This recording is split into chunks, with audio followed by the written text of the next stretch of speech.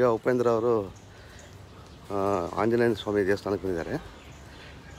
ಅಲ್ಲಿ ಪೂಜೆ ಮಾಡಿ ಪಬ್ಲಿಕ್ನ ಮೀಟ್ ಮಾಡಕ್ಕೆ ಹೋಗ್ತಾ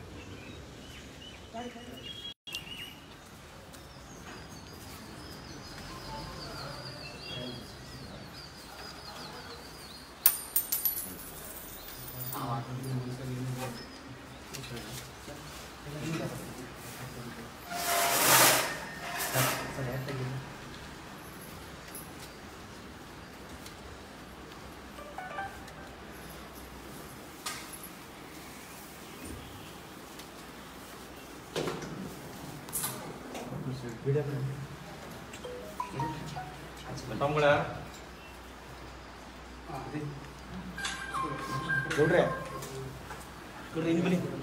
ಆ ಕಡೆ ಬನ್ನಿ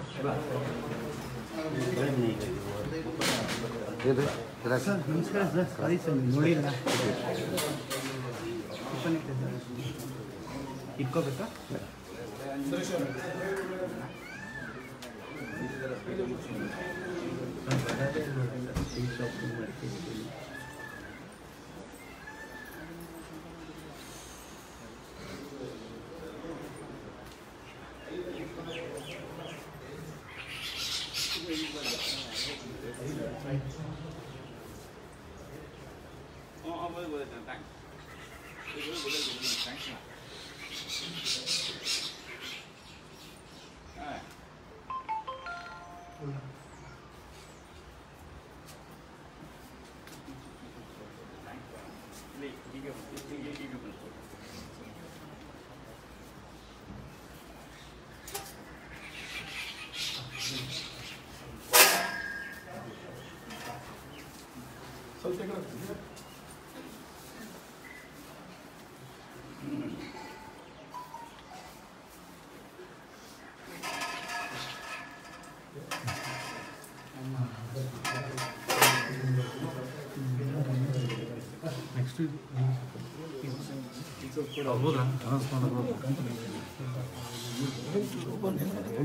ಯಾಕಂದ್ರೆ ಅಲ್ಲಿಂದ ಇಲ್ಲಿಲ್ಲ. ಅಲ್ಲ ಟಿ ವಿ ಸರ್ಕಲ್ ಅಂದ್ರೆ ಮೊದಲು ಮುಗ್ದೋಗುತ್ತೆ. ಇಲ್ಲ ಈ ವಿಷಯ ಅಲ್ಲಿ ಹೋಗೋಣ ಅಲ್ಲಿಂದ ಮಾಡೋಣ ಇಲ್ಲಿ ಬೇಡ. ಇಲ್ಲಿ ಗಾಡಿ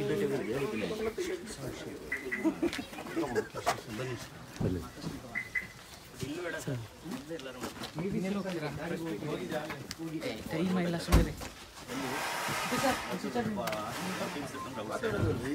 ಇಲ್ಲ ಇಲ್ಲ ಬನ್ನಿ ಇನ್ನು ಮುಂದೆ ಹೋಗ್ತೀವಲ್ಲ ಪ್ರೆಸ್ ಕಾನ್ಫರೆನ್ಸ್ ಮಾಡ್ತಾ ಇದ್ದೀವಿ ಈಗ ಒಂಬತ್ತುವರೆಗೆ ಪ್ರೆಸ್ ಕಾನ್ಫರೆನ್ಸ್ ಗೌಡ್ರೆ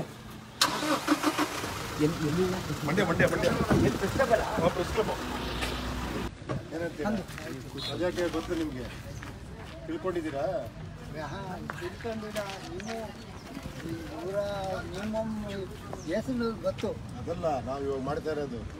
ಪ್ರಜಾಕೀಯ ಅಂತ. ಓಕೆನಾ? ಅದರಲ್ಲಿ ಆಟೋ ಗುರುತು ನಮ್ದು. ಆಯ್ತು ಹ್ಞೂ ಆಟೋ. ಆಟೋ ಗುರುತು. ಇವ್ರೆ ಕೇಳಿಸುತ್ತಲ್ವ ನಿಮ್ಗೆ? ಕೇಳಿಸುತ್ತಾ? ಆಟೋ ಗುರುತು ಓಟ್ ಹಾಕ್ಬೇಕು ನೀವು ಆಟೋ ಗುರುತು ಉಪೇಂದ್ರ ಸರ್ದು ಪಕ್ಷ? ನೋಡಿ ಇದು ನೋಡಿ ಒಂದ್ಸತಿ ನೋಡಿ.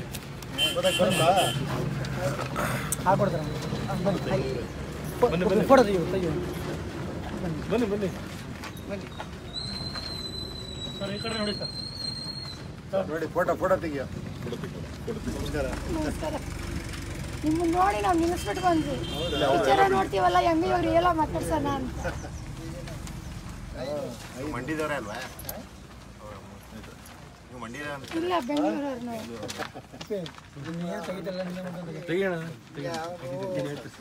ನಿಜವಾಗ್ಲೂ ನೀನು ಸಹಿತ ಆದರೆ ನೀವು ಮಾಡಿದೆ. ಗೊತ್ತಾಯ್ತು ಯಾರು ಅಂತ? ಗೊತ್ತು ಗೊತ್ತು. ಸರ್ ಇವ್ರ ಜೊತೆ ನನ್ನ ಮಾಡಿಸೋರೆ ಸರ್ ನಾಲ್ಕೈದು ಸೀನ. ಹೌದಾ? ಪಿಕ್ಚರ್ಲಿ ಇತಿ ಪಿಕ್ಚರ್ ನಾನು ಮಾಡಿದ್ದೆ. ಗೊತ್ತು ಗೊತ್ತು. ನಿಮ್ಮ ನಿಮ್ಮ ಬಗ್ಗೆ ಗೊತ್ತಿಲ್ಲ ಸರ್ ಬನ್ನಿ. ಅಜ್ಜಕ್ಕೂ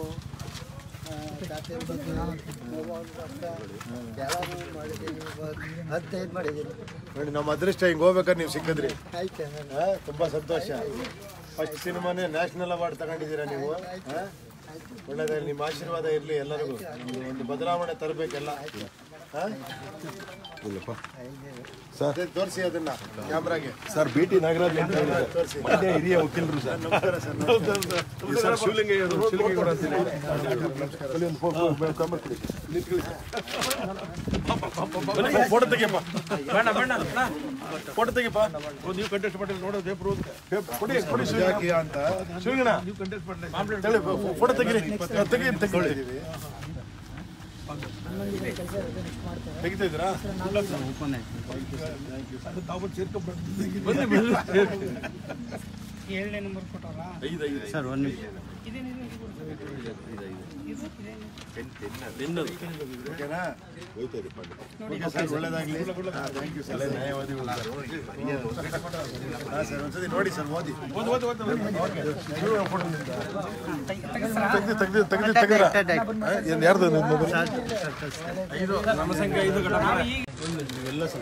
ಸರ್ ನಮಸ್ಕಾರ ಮಾತಾಡಿ ಸರ್. ತಾವು ಭಾಳ ಅದ್ಭುತವಾಗಿ ಇದ್ರ ಬಗ್ಗೆ ತಿಳ್ಕೊಂಡಿದ್ದೀರಾ. ನಾವಿಲ್ಲಿ ಹೋಗ್ಬೇಕಾರೆ ಏನೋ ಆ ಶ್ರೀರಂಗಪಟ್ಟಣದ ಹತ್ರ ಬಂದಿದ್ದಾಗ, ಏನೋ ಸಾರೆ ಕರೆದು ನಮಗೆ ಟೀ ಕುಡೀರಿ ಅಂತ ಟೀ ಕೊಡಿಸಿ ನಮ್ಮ ಪ್ರಯತ್ನದ ಬಗ್ಗೆ ಹೇಳಿದ್ರು. ಅವ್ರ ಬಾಯಲ್ಲೇ ಕೇಳಿ, ಹೇಳಿ ಸರ್. ಇಲ್ಲ, ಮೊದಲನೇದಾಗಿ ನಿಮ್ಮ ಕೆಲಸದ ಒತ್ತಡದಲ್ಲಿ ನಿಮ್ಗಿರೋಂಥ ಕೆಲಸದ ಒತ್ತಡ ಹೇಳೋಕ್ಕಾಗದಿರೋಂಥದ್ದು, ಅಂಥ ಒಂದು ಜನಪ್ರಿಯತೆ ಮಧ್ಯದಲ್ಲಿ, ಜನಪರವಾಗಿ ಯೋಚನೆ ಮಾಡುವಂಥ ಜನನೇ ಇಲ್ಲದೆ ಇರೋಂಥ ಸಂದರ್ಭದಲ್ಲಿ, ಪ್ರಜಾತಂತ್ರ ಅಂದ್ರೆ ಏನು? ಆ ಪ್ರಜಾತಂತ್ರದಲ್ಲಿ ಪ್ರಜೆಗಳೇ ಪ್ರಭುಗಳು ಅನ್ನೋ ವಿಚಾರದಲ್ಲಿ ಪ್ರಜೆಗೆ ಆದ್ಯತೆ ಕೊಡಬೇಕು, ಆ ಮೂಲಕ ರಾಜಕಾರಣ ಮಾಡಬೇಕು ಅಂತೇಳಿ ಜನರನ್ನ ಮತದಾರನ ಜಾಗೃತಿ ಮಾಡಿಸೋದಕ್ಕೆ ನೀವೇನೊಂದು ಪ್ರಯತ್ನ ಪಡ್ತಾ ಇದ್ದೀರಿ. ಬಹುಶಃ ಈ ಪ್ರಯತ್ನ ಜನ ಬಳಸ್ಕೋಬೇಕು. ಇಂಥ ಆಲೋಚನೆ ಮಾಡದೇ ಇರುವಂಥದ್ದು ಜನರ ಲೋಪನೇ ಹೊರತು ನಿಮ್ಮ ಲೋಪ ಅಲ್ಲ. ಖಂಡಿತವಾಗಿ ಇವತ್ತಲ್ಲ ನಾಳೆ ಪ್ರಜಾಪ್ರಭುತ್ವದ ಮೌಲ್ಯಕ್ಕೆ ಗೌರವ ಬರಬೇಕು ಅಂದರೆ ನಿಮ್ಮ ಆಲೋಚನೆಯ ರಾಜಕಾರಣ ನಮಗೆ ಬಂದಾಗ ಜನ ಇವತ್ತು ಬಡತನದ ತಾರತಮ್ಯ ಜಾಸ್ತಿ ಇದೆ. ಬಡವ ದಿನದಿಂದ ದಿನಕ್ಕೆ ಬಡವಾಗ್ತಾ ಇದ್ದಾನೆ. ಶ್ರೀಮಂತ ಹೇಳಿಕಾಗ್ದಿರೋಂಥ ಅಗರ್ಭ ಶ್ರೀಮಂತ ಆಯ್ತಿರೋಂಥ ಅಂತರ ಇದೆಯಲ್ಲ, ಅದು ಕಡಿಮೆ ಆಗಬೇಕು. ಆ ಕಡಿಮೆ ಆಗ್ಬೇಕಾದ್ರೆ ನಿಮ್ಮಂಥ ಕಾನ್ಸೆಪ್ಟ್ ಏನಿದೆ? ಆ ಪ್ರಜಾಕೀಯದಲ್ಲಿ ಆಲೋಚನೆ ಮಾಡ್ತಿದ್ದದ್ದು ಬರಬೇಕು. ಮತ್ತೆ ಸರ್ವರ್ಗೂ ಒಂದು ಆರೋಗ್ಯ ಸಿಗಬೇಕು, ಶಿಕ್ಷಣ ಸಿಗಬೇಕು. ಇದೆಲ್ಲದರಲ್ಲೂ ಶಿಕ್ಷಣ ಶ್ರೀಮಂತರು ಮಕ್ಳಿಗೆ ಮಾತ್ರ ಲಕ್ಷ, ಎರಡು ಲಕ್ಷ ಕಾನ್ವೆಂಟ್ ಕೊಡುವಂಥ ಸಂದರ್ಭದಲ್ಲಿ ಸರ್ಕಾರಿ ಶಾಲೆಯಲ್ಲಿ ಓದುವಂಥ ಕೂಲಿ ಮಾಡೋ ಮಕ್ಕಳು ಇವತ್ತು ಪೈಪೋಟಿ ಮಾಡೋಕ್ಕಾಗಲ್ಲ. ಆ ಕಾರಣಕ್ಕೆ ಶಿಕ್ಷಣ, ಆರೋಗ್ಯ ಮೂಲಭೂತ ಸೌಲಭ್ಯ ಇದೆಲ್ಲದ್ರ ಬಗ್ಗೆ ನೀವು ರಾಜಕಾರಣ ಮಾಡ್ತಿರೋ ಜನರಿಗಾಗಿ ಅಂತ ಹೇಳುವಂಥ ನಿಮ್ದೇನು ವಿಚಾರ ಇದೆ. ಆ ವಿಚಾರನ ಜನ ಅರ್ಥ ಮಾಡ್ಕೊಳ್ಳೋ ತನಕ ನ್ಯಾಯ ಸಿಗಲ್ಲ. ಅಲ್ಲಿ ತನಕ ಇವ್ರು ಅನ್ಯಾಯಕ್ಕೆ ಒಳಪಡ್ತಾರೆ ಕಷ್ಟಕ್ಕೆ ಸಿಗ್ತಾರೆ. ಇಲ್ಲ ಇಲ್ಲ ಇಲ್ಲ. ಖಂಡಿತ ಹೇಳ್ತೀನಿ ಸರ್. ನನಗೆ ಕಂಪೇರ್ ಮಾಡಂಗಿಲ್ಲ. ನಿಮ್ದೇ ಆದಂತ ಮೌಲ್ಯಗಳು ಇದೆಯಲ್ಲ ಇಲ್ಲ ಇಲ್ಲ ಖಂಡಿತ. ಆಮೇಲೆ ಹೆಂಗು ಸರ್ ನನ್ನದು ಹತ್ತು ಜನ ಹೇಳ್ಬೋದು. ನಿಮ್ದು ಇದೆಯಲ್ಲ ಸರ್? ಈಗ ಉದಾಹರಣೆಗೆ ಈಗ ಭಾಳ ಜನ ತಾಯಂದ್ರು ಈ ಮಕ್ಕಳೆಲ್ಲ ಇದೆಯಲ್ಲ? ಈ ಒಂದು ಅಟ್ರಾಕ್ಷನ್ ಇದೆಯಲ್ಲ ಸರ್? ಈ ಅಟ್ರಾಕ್ಷನ್ ಅವರು ಅವರ ವೈಭವ ಸ್ವಂತ ಸಾಮರ್ಥ್ಯಕ್ಕೆ ಬಳಸ್ಕೊತಾರೆ ಸ್ವಂತ ಲಾಭಕ್ಕೆ ಬಳಸ್ಕೊತಾರೆ. ನೀವು ಅದನ್ನ ಬಿಟ್ಟು ಜನಪರವಾದ ಯೋಚನೆ ಮಾಡುವಂಥದ್ದಕ್ಕೆ ಯಾರು ಬಳಸ್ಕೊಂಡ್ರೆ ಹೇಳಿ? ಮುಖಶ್ರುತಿ ಹೇಳ್ತಾ ಇಲ್ಲ ನಾನು ನಿಮ್ಮ ಇರುವಂತ ಜನಪ್ರಿಯತೆ. ಇದರಲ್ಲಿ ಎಷ್ಟೋ ವರ್ಷಗಳಿಂದ ಹೋರಾಟ ಮಾಡ್ತಾ ಇದ್ದೀರಾ? ಖಂಡಿತವಾಗಿ. ಇನ್ಸ್ಪಿರೇಷನ್ ಸರ್ ನಮಗೆ. ಖಂಡಿತವಾಗಿ. ಖಂಡಿತವಾಗಿ ನಿಮ್ಮ ಪ್ರಯತ್ನ ಯಶಸ್ಸಾಗಬೇಕು. ಯಶಸ್ಸು ಆಗಲಿಲ್ಲ ಅಂತ ಹೇಳಿದ್ರೆ ಅದು ಖಂಡಿತವಾಗಿ ನಿಮ್ಮ ಆಲೋಚನೆಗಾಗಲಿ, ನಿಮ್ಮ ವ್ಯಕ್ತಿತ್ವಕ್ಕಾಗಲಿ ಸೋಲಲ್ಲ. ಆಮೇಲೆ ನೋಡಿ, ಬಹಳ ಒಂದು ಅದ್ಭುತ ವಿಷಯ ಹೇಳಿದ್ರು. ರೈತರುಗಳು ಬೆಂಬಲ ಬೆಲೆ ಯಾಕೆ ಸಿಗಲ್ಲ ಅನ್ನೋದಕ್ಕೆ ನಾವೊಂದು ಮ್ಯಾನಿಫೆಸ್ಟೋ ಮಾಡಿದ್ವಿ. ಇದೇ ಥರ ವಿಚಾರವಂತರನ್ನೆಲ್ಲ ಡಿಸ್ಕಸ್ ಮಾಡಿ.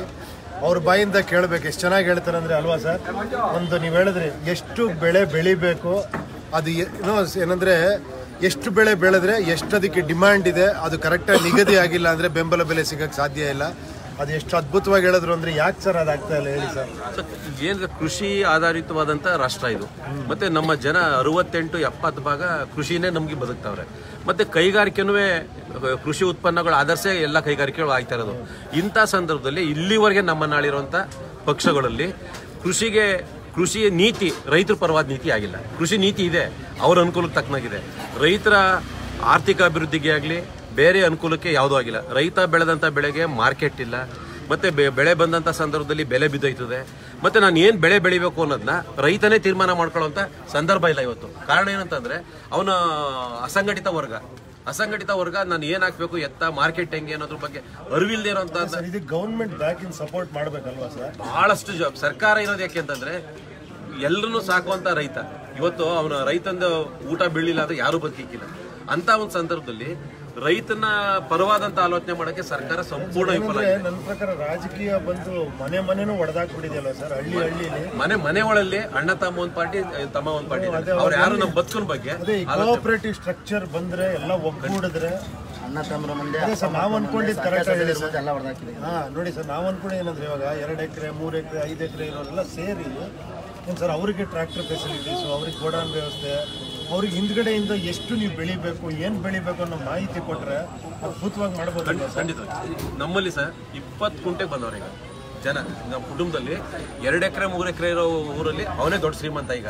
ಇಪ್ಪತ್ತು ಕುಂಟೆ ಮೂವತ್ತು ಕುಂಟೆ ಇರೋಂಥ ಸಾಮಾನ್ಯ ಜನ ಬಂದವ್ರೆ. ಇಂಥದ್ಕೆ ನಾನು ಆ ಇಪ್ಪತ್ತು ಕುಂಟೆಲ್ಲೇ ಬದುಕು ಕಾಡ್ಬೇಕಾರೆ ನಿಮ್ಮ ಆಲೋಚನೆ ಏನಿದೆ? ಕೋಆಪರೇಟಿವ್ ಮೂಲಕ ಅವನಿಗೆ ಏನು ಸಂದರ್ಭಕ್ಕೆ ಬೀಜದಿಂದ ಹಿಡಿದು ಯಂತ್ರೋಪಕರಣ ಆಗ್ಬೋದು, ಮತ್ತೆ ಬೆಳೆದದ್ದು, ಮತ್ತೆ ರೈತ ರೈತರ ಒಂದ್ ಕಡೆ ಸೇರ್ಕೋಬೇಕು. ಇವತ್ತು ಕೃಷಿ ಕಾರ್ಮಿಕರು ಸಮಸ್ಯೆ ಇದೆ. ಕೃಷಿ ಕಾರ್ಮಿಕರಿಗೆ ಸರಿಯಾದಂತ ಕೃಷಿ ಕೂಲಿ ಕೊಡ್ತಾ ಇಲ್ಲ ನಾವು. ಆ ಕೂಲಿ ಕೊಡದೇ ಇರೋದ್ರಿಂದ ಅವರೆಲ್ಲ ಕೈಗಾರಿಕೆ ಕಡೆ ಹೋಯ್ತಾವ್ರೆ, ನಗರ ಕಡೆ ಹೋಯ್ತಾವ್ರೆ. ಕೃಷಿಗೆ ಯಾವಾಗ ಕಾರ್ಮಿಕರಿಲ್ಲ, ಆ ಕೊರತೆ ನೀಗಿಸುವಂತ ದಿಕ್ಕಿನಲ್ಲೂ ಸರ್ಕಾರ ಯೋಚನೆ ಮಾಡಿಲ್ಲ.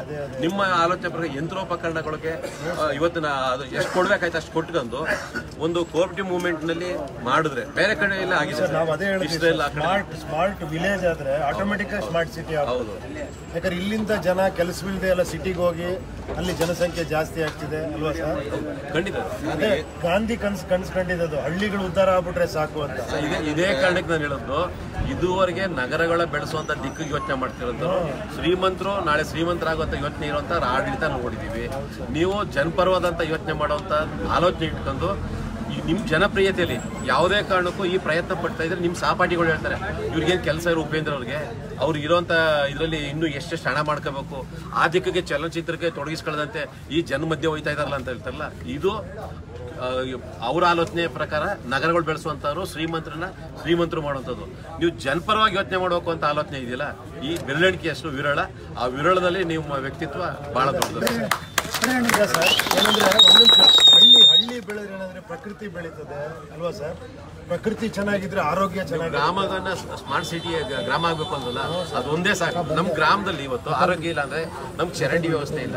ಕಕ್ಕಸ್ ಗೋಬ ಇವತ್ತೆಲ್ಲ ಕಟ್ಸಿದೀವಿ ಅಂತಲ್ಲ. ಕಕ್ಕಸ್ ಹೋಗುವಂಥದ್ದು ಇವತ್ತು ಮೈಲಲ್ಲಿ ಹೋಗ್ತಾ ಇದ್ದಾರೆ. ಇಂಥ ಪರಿಸ್ಥಿತಿ ಸ್ವಾತಂತ್ರ್ಯ ಬಂದು ಎಪ್ಪತ್ತು ವರ್ಷ ಆಗಿದೆ. ನಮ್ಗೆ ಎಲ್ಲಿ ಸಿಕ್ಕಿದೆ? ಇಲ್ಲ ಸರ್ ತಾವೆಲ್ಲ ಬದಲಾಗಬೇಕು. ಖಂಡಿತ ಯುವಕರು ಬದಲಾಗಬೇಕು. ಕಂಪ್ಲೀಟ್ ಚೇಂಜ್ ಆಗಬೇಕು. ಹಣ ಅನ್ನೋ ರಾಜಕೀಯದಿಂದಲೇ ಇದಾಗ್ತಿರೋದು ಸರ್. ಯಾರ ಹತ್ರ ಹಣ ಇದೆಯೋ ಯಾರ ಹತ್ರ ಹೆಸರಿದೆಯೋ ಅವರೇ ರಾಜಕೀಯಕ್ಕೆ ಬರ್ತಾರೆ. ಸರ್? ಆಮೇಲೆ ಈಗ ಅಲ್ಲಿ ಯಾರು ನಿಲ್ತಾರೆ ಅವರಲ್ಲಿ ಕೆಲವರು ಜಾತಿ ಮೇಲೆ. ಆಮೇಲೆ ಕೆಲವರು ಬುದ್ಧಿವಂತರಿಂದ ಇವರಲ್ಲಿ ಯಾರು ಕೆಟ್ಟ ಕಡಿಮೆ. ಅವನ್ನ ಆಯ್ಕೆ ಮಾಡುವಂತ ಪರಿಸ್ಥಿತಿ ಬಂದ್ಬಿಡೈತೆ ಆಮೇಲೆ ದುಡ್ಡಿದ್ರೆ ರಾಜಕಾರಣ. ಇವತ್ತು ಏನೋ ಇವತ್ತು ನಡೀತಾ ಇದೆ. ಕನಿಷ್ಠ ಇಪ್ಪತ್ತು ಕೋಟಿ ಇಲ್ಲದೆ ಇದ್ರೆ ಜನದ ಮುಂದೆ ಹೋಗಂಗಿಲ್ಲ. ಜನನೇ ತೀರ್ಮಾನ ಜನರು ಹೆಂಗೆ ಬಂದ್ಬಿಟ್ಟಿದ್ದಾರೆ ಅಂದ್ರೆ ಅವನು ದುಡ್ಡು ಐತೆ ಕಡೆ ಗೆಲ್ತಾನೆ ಅಂದ್ರೆ ಓಟ್ ಹಾಕೋ ಮಟ್ಟಕ್ಕೆ ನಮ್ಮ ಅವನತಿಗೆ ನಾವೇ ಓಟ್ ಸರ್ ನಾನು ಹೇಳ್ತೀನಿ ನಿಮ್ಮ ವೋಟ್ ವೇಸ್ಟ್ ಆದ್ರೂ ಪರವಾಗಿಲ್ಲ ಸತ್ಯ ಅನ್ನೋ ಕಡೆ ವೋಟ್ ಮಾಡಿ. ಸರ್ ಅದಕ್ಕೋಸ್ಕರ ಸರ್ ನೋಡಿ ಸರ್ ಈ ಥರ ಯೂನಿಫಾರ್ಮ್ ಕೊಟ್ಟು ನೈನ್ ಟು ಸಿಕ್ಸ್ ಜನ ಸಂಪರ್ಕದಲ್ಲಿ ಕೆಲಸ ಮಾಡಬೇಕು ಜನಕ್ಕೆ ರಿಪೋರ್ಟ್ ಕೊಡಬೇಕು ಜನರೇ ಹೇಳಬೇಕು ನಮ್ಗೆ ಇದು ಬೇಕು ಅಂತ. ಈ ಥರ ಒಂದು ಆಡಳಿತ ಏನು ಜನಪರವಾದ ಆಡಳಿತ ಮಾಡಬೇಕು ಅಂತ ಒಂದು ಪ್ರಯತ್ನ ಸರ್. ನಮ್ಮೆಲ್ಲರ ಆಶೀರ್ವಾದ ಎಲ್ಲರೂ ಸರ್. ಹ್ಞೂ ಸರ್ ಖಂಡಿತ ಸರ್ ಎಲ್ಲ. Thank you thank you very much thank you ಆಗಮಿಸಲಿದ್ದಾರೆ ಆಗಮಿಸಿದ್ದಾರೆ. ಸಾಧುಗಳು ಹೆಚ್ಚಿನ ಸಂಖ್ಯೆಯಲ್ಲಿ ಅವರ ಪಕ್ಷದಾದಂತ ಉತ್ತಮ ಪ್ರಜಾತಿಯ ಪಕ್ಷ ಅದೇ ಸರ್. ತಾವು ಮನವಿ ಮಾಡ್ಕೊಳ್ತಾ ಇದ್ದೀವಿ. ರಿಯಲ್ ಸ್ಟಾರ್ ಉಪೇಂದ್ರ ಅವರವರು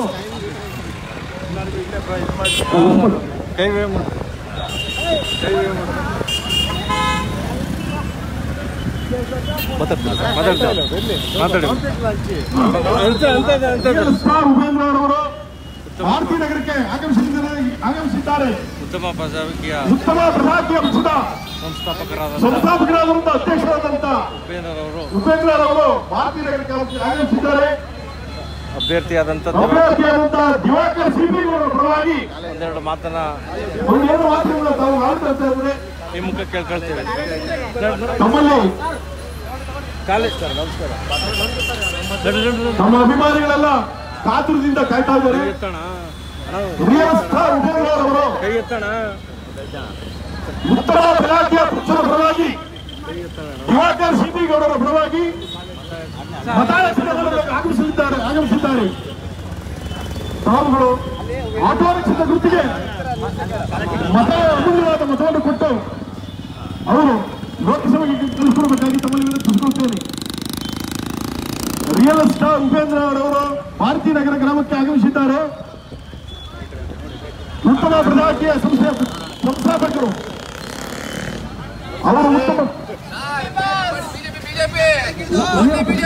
ರಿಯಲ್ ಸ್ಟಾರ್ ಉಪೇಂದ್ರ ಅವರು ಆಗಮಿಸಿದ್ದಾರೆ ಇಲ್ಲ ಇಲ್ಲ ಯಾರು ಇಲ್ಲ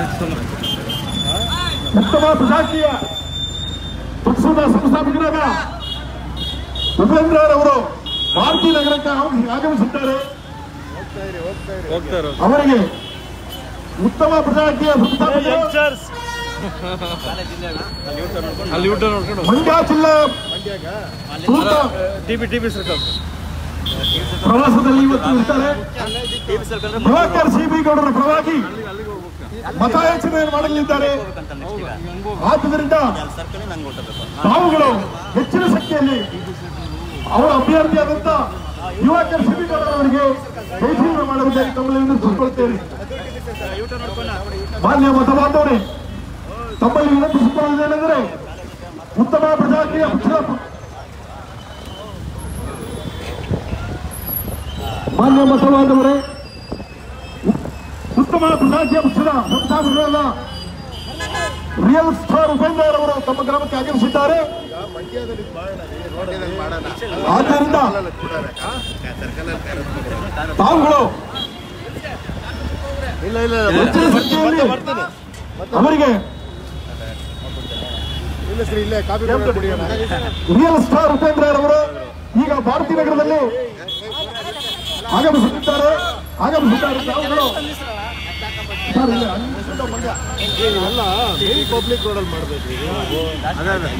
ರಿಯಲ್ ಸ್ಟಾರ್ ಉಪೇಂದ್ರ ಅವರು ಮತ್ತೆ ಯಾರಿಲ್ಲಂದ್ರೆ ಮಾತಾಡ್ಸ್ಕೊಂಡ್ರೆ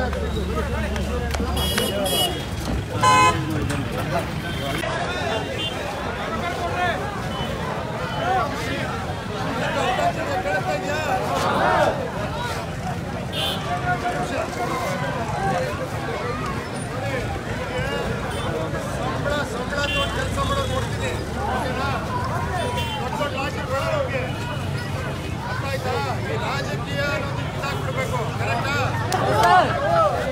ಬೇಕಾ ರಾಜಕೀಯ ಜೊತೆ ಸಂಬಳ ತಗೊಂಡು ಕೆಲಸ ಮಾಡಿ ನಿಮ್ಮ ಹತ್ರ ಬಂದು ಏನ್ ಬೇಕು ಅಂತ ಕೇಳುವಂತ ವ್ಯಕ್ತಿಗಳು. ಕರೆಕ್ಟಾ? ನೀವು ರಾಜರು ನೀವು ರಾಜರು ನಿಮ್ಮ ಟ್ಯಾಕ್ಸ್ ದುಡ್ಡಲ್ಲಿ ಎಲ್ಲ ಬೆಳೀತಾ ಇದ್ದಾರೆ ಓಕೆನಾ? ಅದು ನಿಮಗೆ ಬರಬೇಕು ಆ ದುಡ್ಡೆಲ್ಲ ನಿಮಗೆ ಬರಬೇಕು ನಿಮಗೆ ಸೇರಬೇಕು ಏನು ವಿದ್ಯೆ ಫ್ರೀಯಾಗಿ ಸಿಗ್ಬೇಕು ಕರೆಕ್ಟಾ ಆರೋಗ್ಯ ಫ್ರೀಯಾಗಿ ಸಿಗ್ಬೇಕು ಕರೆಕ್ಟಾ ಎಎಂ ದೊಡ್ಡಿ ಈ ರಸ್ತೆಯಲ್ಲಿ ಪ್ರಜಾಕೀಯ ಪಕ್ಷದ ಅಧ್ಯಕ್ಷರಾದಂಥ ಶ್ರೀ ಉಪೇಂದ್ರ ಅವರು ಜನಗಳನ್ನು ಸಂಪರ್ಕಿಸಿ ಮಾತನಾಡುತ್ತಿದ್ದಾರೆ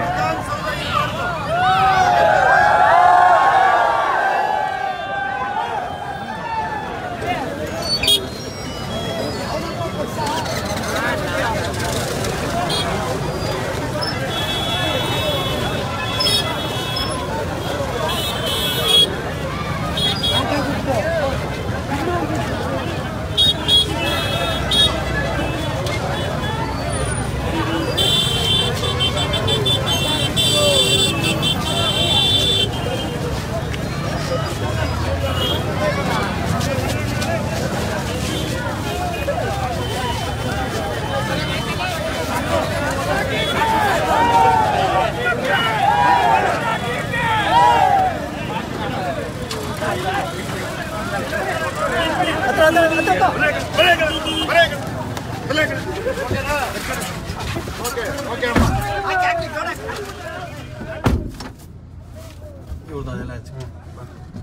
ನಮ್ಮಿಂದ ನಾವು ಮಾಡ್ತಾ ಇದ್ದೀವಿ ಸರ್ ಈಗ ಮಂಡ್ಯ ಅಂತಂದ್ರೆ ಈಗ ಮಂಡ್ಯ ರಾಜಕಾರಣ ಬಗ್ಗೆ ಏನು ಅನ್ಸುತ್ತೆ ಸರ್ ನಿಮಗೆ?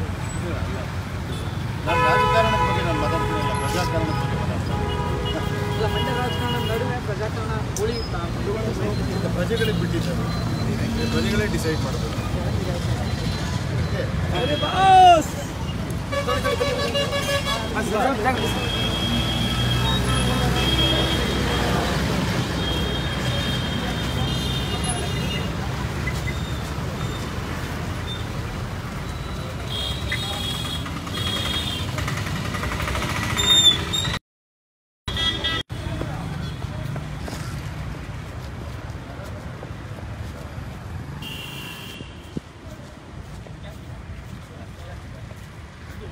ನೀವೆಷ್ಟು ಗೆಲ್ಲಿಸ್ತೀರಾ ಅಂತ ಹೇಳಿ